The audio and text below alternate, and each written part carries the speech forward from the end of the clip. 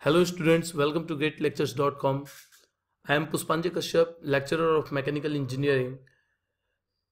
In this series of uh, lecture of strength of material, we will see the concept of twisting moment or twisting couple. Okay? इस lecture में हम लोग twisting couple और twisting movement के बारे में देखेंगे और उसके डिफरेंट डेफिनेशंस को स्टडी करेंगे, क्या होती है ट्विस्टिंग मूवमेंट इस लेक्चर में हम लोग ट्विस्टिंग कपल और ट्विस्टिंग मूवमेंट के इफेक्ट्स के बारे में नहीं देखेंगे। बिकॉज़ अपकमिंग लेक्चर्स में हम लोग वो देखेंगे प्योर टॉर्सन के कंसेप्ट में इफ़ेक्ट ऑफ़ ट्विस्टिंग मूवमेंट और अपकमिंग लेक्चर्स में हम लोग बेंडिंग कपल के बारे में भी स्टडी करेंगे ओके तो इस लेक्चर में हम लोग केवल देखेंगे ट्विस्टिंग कपल के बारे में कि क्या होती है ट्विस्टिंग कपल और किस तरह से ट्विस्टिंग कपल को हम देखते हैं।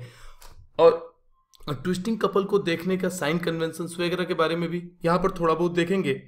और डीप स्टडी हम लोग करेंगे प्योर टॉर्सन में। देन आफ्टर टॉर्सन चैप्टर जब अपना स्ट्रेंथ ऑफ़ मटेरियल में स्टार्ट होगा तो वहाँ पर हम लोग टोटल स्टडी करेंगे ट्विस्टिंग मूवमेंट और ट्विस्टिंग कपल के बारे में। तो let's start the concept of twisting movement in this lecture अगर हम एक बीम एक कोई भी बीम लेते हैं बीम ए बी सेक्शन कोई बीम है ए बी सेक्शन का। आप लोगों को प्रीवियस लेक्चर में हमने बताया था कि कोई भी बीम अगर रिप्रेजेंट हम करते हैं तो ये जो लाइन होती है, ये क्या होती है? Longitudinal axis of the beam okay तो लॉन्गिट्यूडनल एक्सिस को हम लोग देख रहे हैं और ये क्रॉस सेक्शन क्रॉस सेक्शन अगर मैं सपोज़ करूँ क्रॉस सेक्शन सर्कुलर है सर्कुलर क्रॉस सेक्शन है, उसका this is the diameter of the cross section okay this is अगर आप देखो this is cross payload and this is dot and and the distance and the distance between these two loads is how much this is d okay तो इस lecture में हम लोग देखते हैं कोई भी कपल क्या होता है सबसे पहले हम कपल के डेफिनेशन की बात करते हैं कपल कपल के डेफिनेशन की बात करते हैं two equal and opposite forces अगर आप सपोज़ करो, एक फोर्स इस डायरेक्शन में लग रहा है पी और एक फोर्स इस डायरेक्शन में लग रहा है P two equal and opposite forces this are two equal and opposite forces two equal and opposite forces opposite forces creates a couple. Separate by a perpendicular distance d. तो equal and opposite forces की बात करते हैं force is a vector quantity तो force जो होंगी equal अगर है मैग्नीट्यूड में इक्वल है मतलब कि equal means what the magnitude of the forces are equal and opposite means the direction of two forces are different तो अगर ये इक्वल है मैग्नीट्यूड में और डायरेक्शन केवल जस्ट अपोजिट डायरेक्शन है तो दोनों पैरेलल होंगी। तो two equal and opposite parallel forces parallel forces तो उनके बीच में जो डिस्टेंस होगी this is D it creates a couple couple कितना होगा? This couple is P into D P into D और सबसे बड़ी बात है कपल इसका भी यूनिट क्या होगा? अगर कपल की यूनिट की बात करते हैं तो this is newton metre okay unit of couple is newton metre अगर आप मूवमेंट की बात करते हो मूवमेंट मूवमेंट की बात करते हो तो इसका भी यूनिट क्या होता है? Newton metre. दोनों में डिफरेंस क्या होता है? मूवमेंट जो होती है मूवमेंट अगर किसी भी बीम पर अगर आप सियर लोड लगाते हो वर्टिकल सियर लोड अगर लगाते हो तो movement point to point vary करती है। Movement is depend upon the length. अगर आप एग्ज़ाम्पल के तौर पे देखना चाहो तो एक एग्ज़ाम्पल देखते हैं। यहाँ पर सिंपल छोटा सा एग्ज़ाम्पल हम लोग लेते हैं। This is what this is a beam beam पर अगर ये लोड पी लगी हुई है this is P load and the length of the beam is L okay length L है। तो इस पी लोड का मूवमेंट कितना होगा? अगर यहाँ पर देखते हैं this is X distance away from this point अगर ये पॉइंट ए है, ये पॉइंट बी है, और ये एक्स डिस्टेंस पॉइंट पर किसी सेक्शन पर देख रहे हैं एक्स एक्स सेक्शन पे मूवमेंट की बात अगर कर रहे हैं तो movement is equal to P into X it means the movement is directly proportional to X movement आपका जैसे जैसे लेंथ चेंज होता जाएगा, मूवमेंट आपकी क्या होती जाएगी? चेंज होती जाएगी। अगर मूवमेंट एट बी देखें तो बी पर क्या है? X is equal to zero तो movement at B is equal to zero. Movement at A means क्या है? X is equal to L तो मूवमेंट क्या हो जाएगा? ए पॉइंट पर पी इंटू एल। तो मूवमेंट का वेरिएशन क्या होता है? पॉइंट टू पॉइंट होता है मतलब कि with respect to distance. Movement आपका चेंज होते जाता है। बट कपल कपल क्या होती है? Couple is a free vector. Free vector है। अब देखो, कपल और मूवमेंट में क्या डिफरेंस है? दोनों चीज़ें तो न्यूटन पर मीटर है। न्यूटन मीटर है। ओके तो कपल मूवमेंट आपका डायरेक्टली क्या हुआ? मूवमेंट आपके डिस्टेंस के ऊपर डिपेंड कर रहा है, लेकिन कपल आप कहीं से भी देखोगे couple is a free vector ये कंसेप्ट हम लोग इंजीनियरिंग मैकेनिक्स में भी देखेंगे बट यहाँ पर मैं थोड़ा बहुत डिस्कस करना चाहता हूँ कपल क्या होती है? कपल जनरली हमारी couple is also a vector quantity but couple is a free vector free vector का मतलब क्या है? अगर ये बीम है बीम का जो क्रॉस सेक्शन है क्रॉस सेक्शन पर this cross sign cross sign का मतलब क्या है? क्रॉस फोर्स का मतलब क्या है? इनवर्ड फोर्स इनवर्ड फोर्स और डॉट का मतलब क्या है? Dot is outward outward outward force. अब देखो, किसी भी क्रॉस सेक्शन पर दिस इज़ इनवर्ड फोर्स अगर आप सपोज़ कर लो, ये तो केवल लॉन्गिट्यूडनल लाइन है। मैंने क्रॉस सेक्शन का एक लाइन लिया। क्रॉस सेक्शन अगर सपोज़ कर लो सर्कुलर क्रॉस सेक्शन है तो उस पर जो अपने, आपने तीन सेंट्रोइडल एक्सिस पढ़े थे X X Y Y and Z Z एक उसमें जो एक्सिस होती थी, हमारी लॉन्गिट्यूडनल एक्सिस होती थी, जो कि परपेंडिकुलर टू द प्लेन होती थी, और दो एक्सिस हमारी क्या होती थी? Parallel to the plane of cross section okay तो यहाँ पर अगर आप देखो तो मैं ट्विस्टिंग कपल की बात कर रहा हूँ। Twisting couple is generally due to twisting couple is generally due to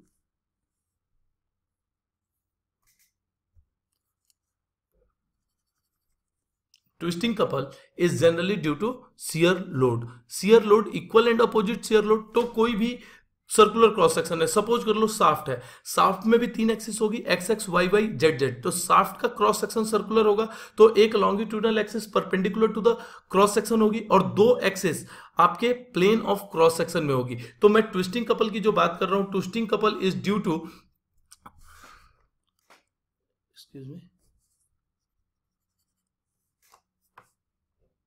twisting couple is due to equal and opposite shear loads due to equal and opposite shear load तो shear load आप shaft में जो cross section देख रहे हो, उसमें X X और Y Y access मैंने मान लिया Z Z axes is a longitudinal axes तो एक्स एक्स और Y Y axes are in the plane of cross section तो सियर लोड हमने लगाया equal and opposite this is inward जो कि क्रॉस सेक्शन में इन जा रहा है and this is outward it creates a anti clockwise couple anti clockwise from the left side of the beam इधर से, आप ये left side of the beam है L H S left side of the beam, यहाँ से आप देख रहे हो तो ये कैसा दिख रहा है? This creates a anticlockwise couple anticlockwise couple twist करा रहा है साफ्ट को ट्विस्ट करा रहा है. This is P into D the value of this couple is P into D तो आप यहाँ पर देखो तो कपल की वैल्यू यहाँ पर पी इंटू डी हो गई कॉन्स्टेंट आप अगर किसी भी क्रॉस सेक्शन पे देखते हो कहीं से भी, कितने भी लेंथ से देखोगे तो वो क्या होगा?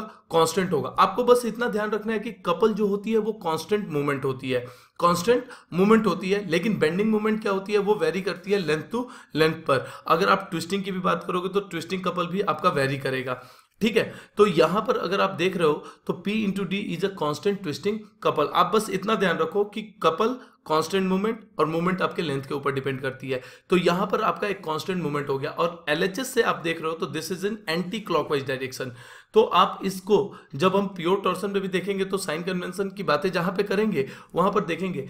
इसको हम इक्विवेलेंट फॉर्म में लिख सकते हैं। दिस इज़ एंटी क्लॉकवाइज आप देख सकते हो इनवर्ट जा रहा है, ऊपर वाला फोर्स इनवर्ट है, बाहर वाला आउटवर्ड है। दोनों मिलकर एंटी क्लॉकवाइज कपल क्रिएट कर रहे हैं from the left hand side of the beam बार बार बोल रहा हूँ from the left hand side of the beam right hand side से देखोगे जस्ट अपोजिट दिखेगा, वो क्लॉकवाइज दिखेगा। तो आपको ऑलवेज एलएचएस से देखना है। और उसको मैं इक्विवेलेंट रिप्रेजेंट कर सकता हूँ इस तरह से। मैंने बीम बनाया A B A B length है बीम का। अब यहाँ पर ये मैं शो कर सकता हूँ this is P D this is double arrow double arrow so inward inward show करते हैं एंटी क्लॉकवाइज को इनवर्ड और क्लॉकवाइज को आउटवर्ड तो this couple the value of this couple is P into D okay next one इसी में देखते हैं, अब मैंने क्या लगाया? यहाँ पर डॉट अब जस्ट उल्टा कर रहे हैं, इसे डॉट किया और इसे क्रॉस किया। ये डॉट हो गया, ये cross equal and opposite forces दोनों पीपी फोर्सेस हैं। डिस्टेंस कितना है दोनों के बीच में? मान लिया, ये कोई साफ्ट है। साफ्ट के cross section this is diameter D okay तो यहाँ पर जो कपल क्रिएट हो रही है फ्रॉम द एलएचएस एलएचएस की बात करते हैं। This is point A this is point B from the LHS ये कैसा दिखेगा? ऊपर वाला आपका आउटवर्ड है, आपकी तरफ़ आ रहा है, ठीक है? डायरेक्शन क्या है ऊपर वाले फोर्स का? Outward from the plane okay plane से बाहर की तरफ़ and inward in the plane नीचे वाला। तो दोनों मिलके आपका कैसा क्रिएट कर रहे हैं? From the LHS this is in clockwise direction clockwise direction आ रहा है तो इसको इक्विवेलेंट हम अगर इसका रिप्रेजेंटेशन देखें तो this is A point and this is B point and this is represented by oh sorry this is represented by outward direction okay this is represented by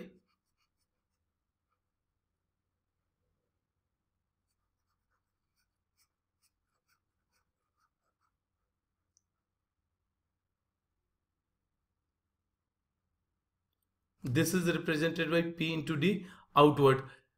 Arrowhead. Arrowhead outward. Okay? Or rightward. Rightward. Double arrow head double arrow head अगर लग गया तो date it means कि वो twisting couple को show कर रहा है। और outward means what outward direction का मतलब क्या है? अगर राइटवर्ड डायरेक्शन में लगा हुआ है डबल एरो तो वो किसमें है? फ्रॉम एलएचएस एलएचएस से वो कैसा दिख रहा है? क्लॉकवाइज फ्रॉम द एलएचएस ये कैसा है? इसको हम क्या कह सकते हैं? Clockwise from the LHS left hand side तो लेफ़्ट हैंड साइड से जब ये क्लॉकवाइज दिखेगा तो इसे इक्विवेलेंट रिप्रेजेंटेशन में हम क्या कर सकते हैं? डबल एरो राइटवर्ड डायरेक्शन में शो कर सकते हैं। अगर अब इसे आप अगर ट्विस्टिंग कपल के फॉर्म में शो करना चाहते हैं तो किस तरह से कर सकते हैं? क्लॉकवाइज है। तो क्लॉकवाइज को अगर आप सपोज़ कर लीजिए, वही है, उसी बीम का मैं इक्विवेलेंट डायग्राम अगर बना रहा हूँ तो किस तरह से इसका क्लॉकवाइज शो करूँगा? Clockwise shown like this clockwise means ये साफ्ट के पीछे से पीछे से आ रहा this is from LHS from L H S always ध्यान रखना है, ये जो साइन कन्वेंशन हम जो यूज़ करेंगे from L H S always use from L H S ये आगे जब हम लोग टॉर्चर देखेंगे तो वहाँ पर इसके टोटल साइन कन्वेंशन की हम लोग बातें करेंगे। अब यहाँ पर देखते हैं several definition of twisting couple तो ट्विस्टिंग कपल के कुछ डेफिनेशन की बात अगर करें तो आप लोगों ने एक चीज़ देखा ट्विस्टिंग कपल किसके कारण हो रहा है? ड्यू टू सियर लोड तो कपल भी आपके लोड में ही आती है। Couple is a form of load okay तो couple is due to which type of load shear load clear twisting couple is due to shear load जब हम लोग बेंडिंग कपल की बात करेंगे तो bending couple is due to normal load equal and opposite normal loads देखेंगे। लेकिन यहाँ पर जब हम ट्विस्टिंग कपल की बात कर तो twisting couple is always due to equal and opposite shear loads okay तो इसके दो तीन डेफिनेशन हो सकते हैं। एक तो इसे ट्विस्टिंग कपल भी कहते हैं या इसे आप ट्विस्टिंग मूवमेंट भी कह सकते हैं। ट्विस्टिंग मूवमेंट मूवमेंट और इसे आप टॉर्क भी कह सकते हैं। टॉर्क। आप लोगों ने बेसिक डेफिनेशंस स्कूल लेवल पे पढ़ा होगा इलेवेंथ ट्वेल्थ में इलेवेंथ क्लास में कि what is torque force into perpendicular distance okay तो यहाँ पर आप इसे टॉर्क भी कह सकते हैं। ट्विस्टिंग एक्शन दे रहे हैं। ओके तो यहाँ पर आप देखो दो तीन डेफिनेशन हम लोग देख सकते हैं कि ये always this couple is act always parallel to the plane of cross section. अगर आप देखो, आप अगर किसी भी कपड़े को निचोड़ते हो जब, धोने के बाद कपड़े निचोड़ते हो तो एक साइड में आप फिक्स करते हो और दूसरे साइड से उस पर ट्विस्टिंग मूवमेंट आप एक्ट करते हो। तो जो ट्विस्टिंग कपल आपने एक्ट किया उसके फ्री एंड साइड पर, वो किस प्लेन में हो रहा है? तो प्लेन ऑफ़ क्रॉस सेक्शन अगर आप देख रहे हो और कपल का डायरेक्शन, कपल का जो देख रहे हो, कपल किस प्लेन में हो रही है? तो डायरेक्ट बात है कि, twisting couple is in the plane of cross section मतलब कि parallel to the plane of cross section आप दो तीन चीज़ें इसमें कह सकते हो कि ये एक तरह का सियर लोड है। सिंपल एक ये आपका क्या हो सकता है? Parallel to the plane of cross section और perpendicular to the plane of perpendicular to the longitudinal axis okay the twisting couple is in the plane which is perpendicular to the longitudinal axis clear because shear load always किस पे लगते हैं? तीन centroidal access होती है। एक आपकी longitudinal access उसी में से लेते हैं। जेड जेड को X x-axis and y-y axis are in the plane of cross section or along the x-x axis and y-y axis the load will act is called the shear load okay और shear load आपकी always parallel to the plane of cross section होती है previous lectures में हम लोगों ने ये सारी चीज़ें देखी है तो इसके कुछ डेफिनेशंस देखते हैं पहला डेफिनेशन हम देखेंगे a couple a couple is said to be a twisting couple when it is when it is acting in a plane acting in a plane which is which is कैसा होगा parallel to the plane of cross section which is parallel to the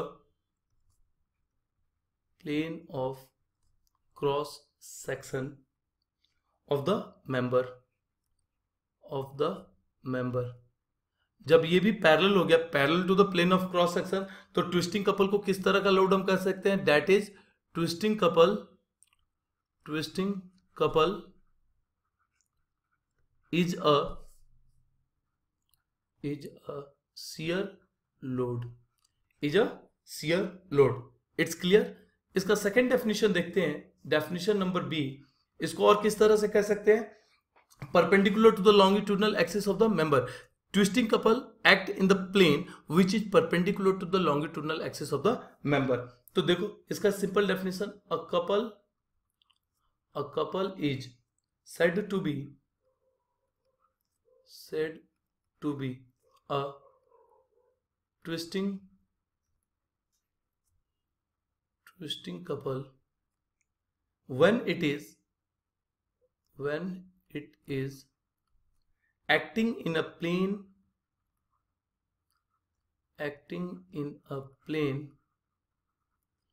which is which is perpendicular to the perpendicular to the longitudinal axis of the member longitudinal axis of the member. Okay और clear सी बात है?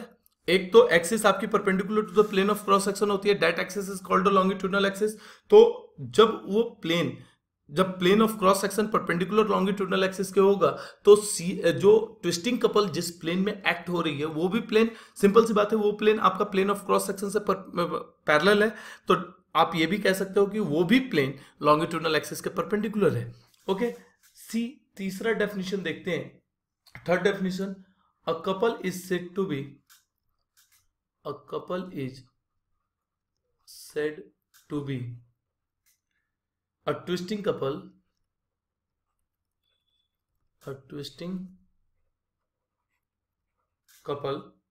When it is acting when it is acting about a centroidal axis about a centroidal axis which is which is which is perpendicular to the perpendicular to the plane of cross section of the member of the member simple सी बात है, किस access के about ये twisting couple होगी? मतलब कि जो आप ट्विस्टिंग हो रही है, किस एक्सेस के अबाउट हो रही है? दैट इज़ एक्सिस कौन सी होगी? लॉन्गिट्यूडनल एक्सिस और लॉन्गिट्यूडनल एक्सिस क्या होती है? सेंट्रोइडल एक्सिस होती है which is perpendicular to the plane of cross section सबसे इसमें इंपॉर्टेंट इंपॉर्टेंट पॉइंट है। इंपॉर्टेंट पॉइंट आप जब भी मूवमेंट की बात करते हो तो वहाँ पर प्रॉपर्टीज़ ऑफ़ सरफेस में क्या लेते हो? अगर बेंडिंग मूवमेंट आप लेते हो बेंडिंग मूवमेंट के कंडीशन में ऑलवेज प्रॉपर्टीज़ ऑफ़ सरफेस में क्या लेते हो? Movement of inertia second movement of area की हम बात करते हैं। About any set about a centroidal axis which is perpendicular to the plane of cross section okay पर देखो सिंपल सी बात है कि not perpendicular to the plane of cross section आप जब बेंडिंग कपल में जब हम लोग देखेंगे तो बेंडिंग मूवमेंट होगी तो उसका प्लेन डिफरेंट होगा प्लेन ऑफ़ क्रॉस सेक्शन के परपेंडिकुलर होगा। यहाँ पर अगर आप सिंपल सी बात देखते हैं कि यहाँ पर हम जिस प्लेन की बात कर रहे हैं, अगर ट्विस्टिंग हो रही है, अगर आप सपोज़ करो कि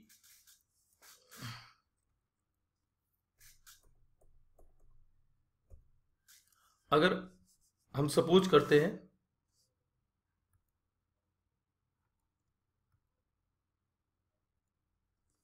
सपोज़ करते हैं, कोई भी हम सपोज़ करते हैं, कोई भी प्लेन है अपना this is a longitudinal axis of the shaft जो रोटेशन होगी, जो ट्विस्टिंग हो रही है, मान लिया दिस इज़ क्लॉकवाइज ट्विस्टिंग ये क्लॉकवाइज ट्विस्टिंग अगर हो रही है P into D this end is fixed this end is fixed तो ये किस एक्सिस के अबाउट जो ट्विस्टिंग हो रही है दिस इज़ द लॉन्गिट्यूडनल और जो ट्विस्टिंग हो रही है अबाउट द लॉन्गिट्यूडनल एक्सिस हो रही है तो अबाउट द लॉन्गिट्यूडनल एक्सिस अगर आप यहाँ पर देखो, तीन एक्सिस अगर हम बनाते हैं दिस इज़ मैं प्लेन ऑफ़ क्रॉस सेक्शन की बात कर रहा हूँ तो यहाँ पर अगर सिंपल देखा जाए this axis is Z axis this axis is Y this is X तो जो रोटेशन हो रही है, जो ट्विस्टिंग हो रही है, वो about about this axis about this axis और इस एक्सिस के अबाउट होने के कारण दो axis plane of cross section में है। This two axis are in the plane of cross section तो ये दोनों तीनों म्यूचुअल परपेंडिकुलर हैं। तो आप क्या देखते हो? जो लॉन्गिट्यूडनल एक्सिस है कोइंसिडेंटली वो कोइंसाइड किसके होती है? पोलर एक्सिस के होती है। तो ऑलवेज ऑलवेज हम क्या कंसीडर करके चलते हैं? कि जब हम ट्विस्टिंग कपल की बात करते हैं तो ऑलवेज मूवमेंट ऑफ़ इनर्सिया जो हम लेते हैं वो पोलर एक्सिस के अबाउट लेते हैं। मतलब इन प्रेजेंस ऑफ़ आप देखते हैं in presence of presence of twisting couple twisting couple always moment of inertia always moment of inertia inertia should be considered should be considered about about polar axis, about polar axis. यहाँ पर देखते हैं longitudinal axis है। ये जो twisting हो रही है, वो किस एक्सिस के अबाउट हो रही है? लॉन्गिट्यूडनल एक्सिस के। और प्रीवियस लेक्चर में आपने देखा था कि लॉन्गिट्यूडनल एक्सिस एक तो इमेजनरी एक्सिस होती है और coincidentally this is coincide with polar axis of the member तो ऑलवेज जिस एक्सिस के अबाउट ट्विस्टिंग कपल एक्ट कर रहा है, उसी एक्सिस के अबाउट हम क्या लेते हैं? मूवमेंट ऑफ़ इनर्सिया लेते हैं। और जनरली यहाँ पर सिंपल सी बात है कि एक्स और वाई एक्सिस आपकी perpendicular to the parallel to the plane of cross section में and this three axes are mutually perpendicular then perpendicular axes theorem के थ्रू क्या हो जाएगा? Polar movement of inertia denoted by J J is polar movement of inertia J is polar movement of inertia inertia तो यहाँ पर देखो J is equal to I X X plus I Y Y this is basic physics जो आप लोगों ने eleventh class में देखा होगा. This is due to perpendicular axis theorem perpendicular axis theorem तो जब हम लोग टॉर्सन पढ़ेंगे, हम लोग रियल ट्विस्टिंग मूवमेंट कहाँ पढ़ेंगे? टॉर्सन में, प्योर टॉर्सन में। और प्योर टॉर्सन इक्वेशन क्या होता है? T by J is equal to tau by R is equal to G theta by L तो यहाँ पर जो ये जे हम देखते हैं this J is polar movement of inertia this J is polar movement of inertia. तो हम ऑलवेज जहाँ पर ट्विस्टिंग कपल प्रेजेंस होगी in the presence of twisting couple always movement of inertia should be consider about polar axis okay okay thanks